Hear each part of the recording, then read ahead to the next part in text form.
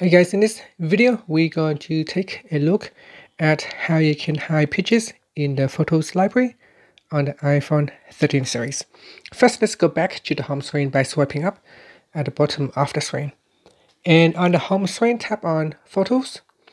In Photos, tap on the Library tab at the bottom. In here, tap on the Select button at the top. And go ahead and select the photos that you want to hide then tap on the share button at the bottom. Next, from the menu, tap on hide.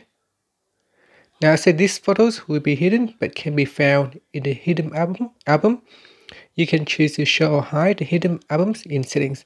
So we're going to tap on hide six photos. Okay, those selected photos are now hidden. Now if you go to albums and we go down, you can view those hidden photos in the hidden album in here.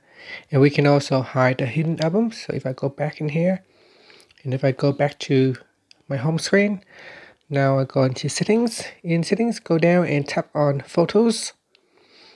And then go down and tap on hidden album. Tap on the toggle button to switch it off. And after that if you go back into the photos app the hidden album is now gone from the menu and that's it.